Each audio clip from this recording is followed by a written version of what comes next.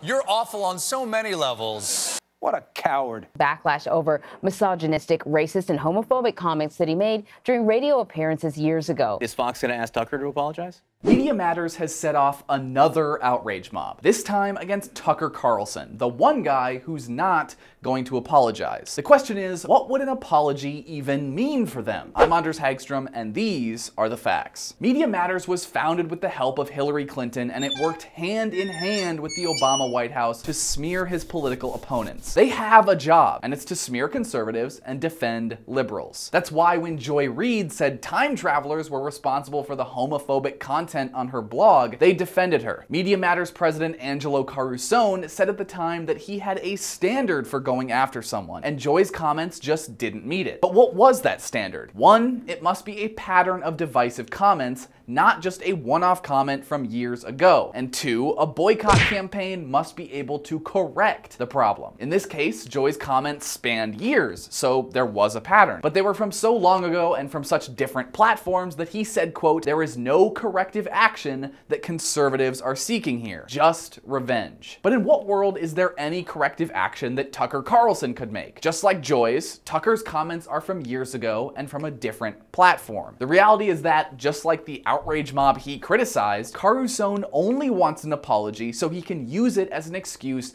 to keep attacking. He doesn't want to clean the public square, he just wants to kick Carlson out of it. Get off you. No questions, no explanations, no opportunity for redemption, just submission to the mob. And yet we're supposed to recognize Media Matters and their ilk as the moral arbiters of our time whenever they sick their interns on a new target. And now let's go to some of your comments from last week's video about Ilhan Omar talking about Obama and Trump.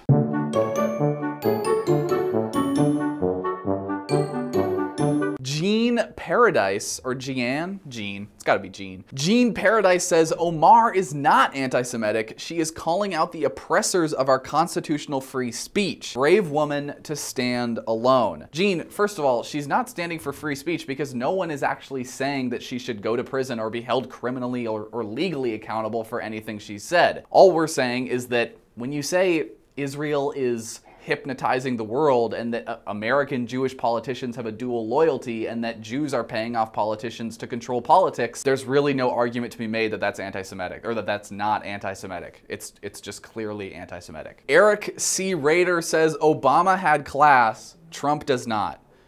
See, I'm not going to really disagree with this one. You know, like, I don't think the argument has ever been that Trump had class. He's not a classy guy. I don't think anyone would say he's a classy guy. But I think a lot of his supporters would say he is an effective guy. And that's apparently what they care about. Roseanne, oh my gosh, Roseanne is being so nice to me. Roseanne Franzini says, perfectly stated. Thanks, Roseanne.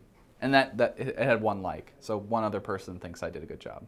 Usually I just get insulted in the comments. but not today. Roseanne coming in clutch with the compliment. Thanks for watching and be sure to like and share this video if you liked it and you want to share it. And also like our page here at the DCNF Presents the Facts and our friends over at American Voices and the Daily Caller.